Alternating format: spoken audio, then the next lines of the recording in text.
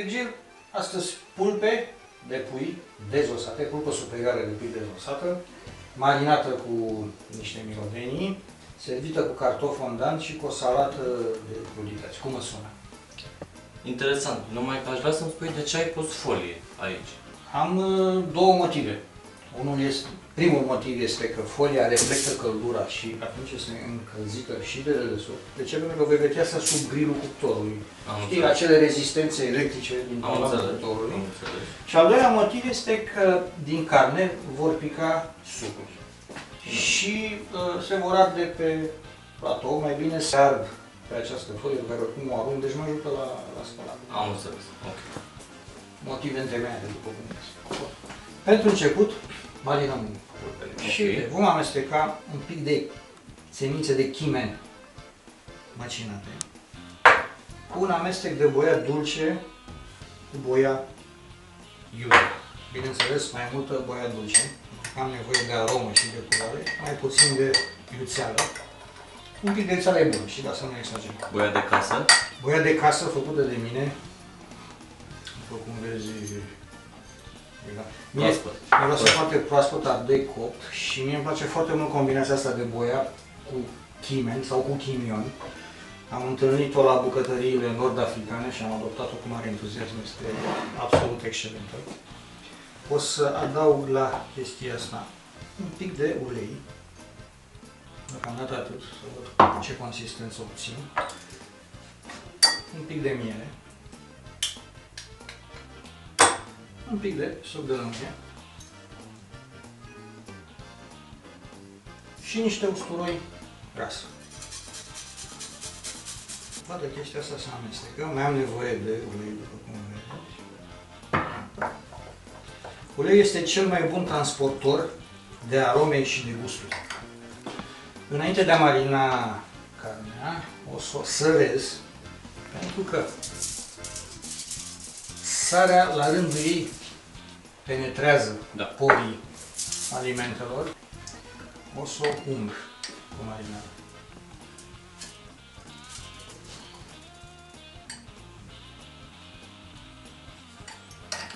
Bun.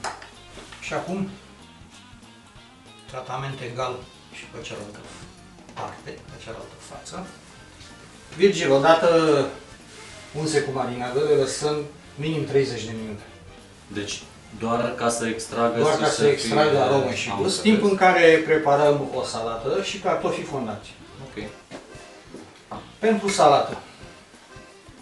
Am aici doi ardei frumoși colorați, o să iau o bucățică.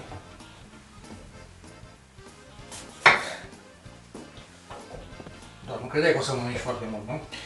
Nici n-am venit uh, cu gândul acesta.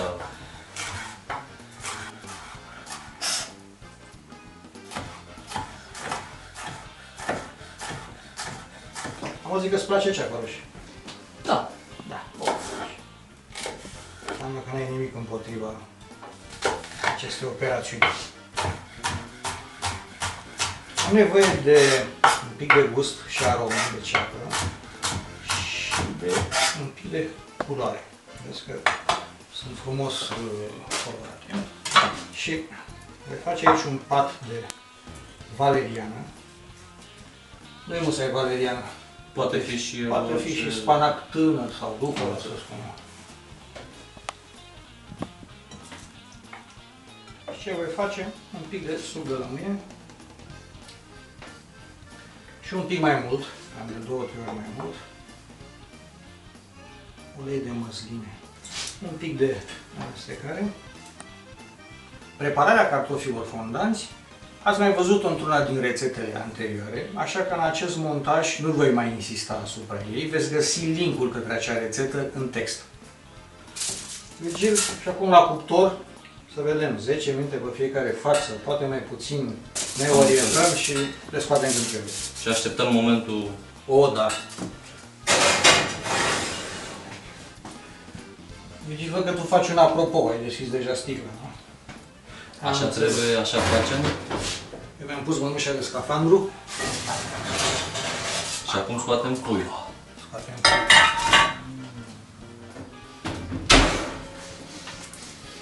Mai are un buchet. se pare că este exact ce așteptam cu și cartofii, marinare. și cartofii fondanți și salată. Ok. Purcelem? Te rog că vinul deja așteaptă. Am înțeles. Avem o farfurie, călduță, nu exagerat. Cartofii fondanți. O bucată de cărniță. Și de aici salată.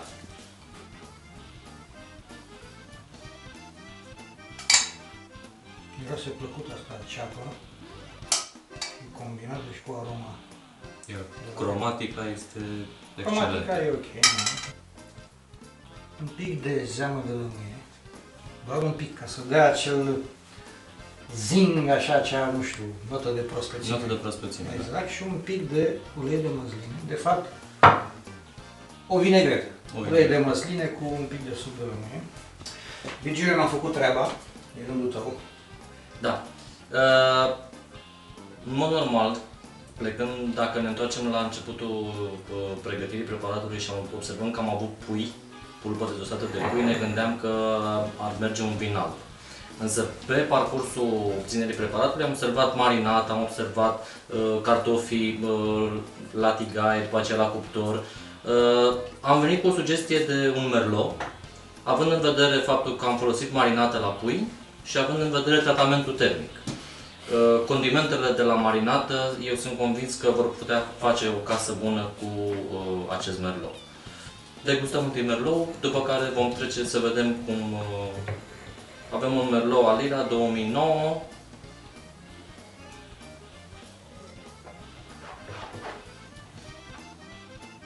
Prietenos. proaspăt, cald, cald ca și partea alcoolică. Hai să vedem cum merge cu... Te rog. Începem întâi cu cartoful.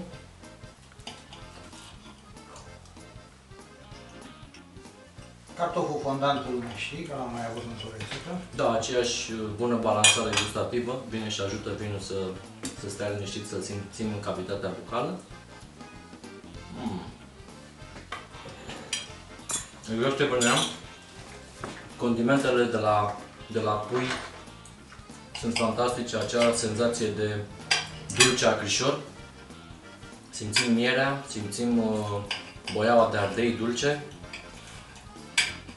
Fantastic.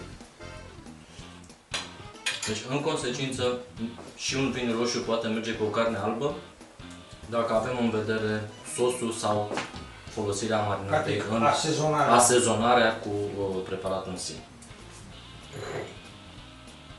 Poftă bună! Poftă bună.